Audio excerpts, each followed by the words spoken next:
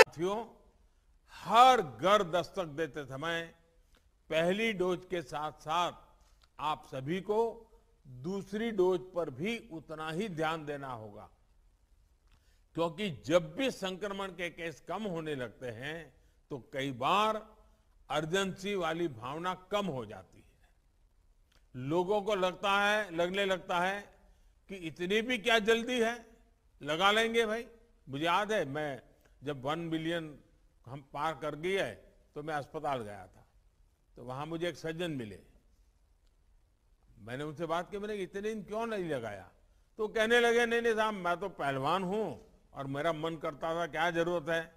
लेकिन अब जब वन बिलियन हो गए तो मुझे लगता है मैं अछूत माना जाऊँगा। लोग मुझे पूछेंगे और मेरी मुंडी नीची हो जाएगी। तो मेरा मन कर गया कि चलो मैं भी अब करवा लेता हूँ। इसलिए वो आ गए। और इसलिए मैं कहता हूँ कि हमें किसी भी हालत में लोगों की सोच को धीमा नहीं होने देना है। इस सोच की वजह से दुनिया के अनेक देशों में आप देखिए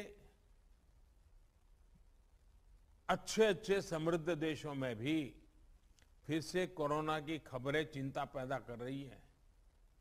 हमारे जैसे देश को तो ये जरा भी हम इसको स्वीकार नहीं कर सकते। हम सह नहीं कर सकेंगे। इसलिए टीके की दोनों डोज सर तय समय पर लगना बहुत ज़रूरी है।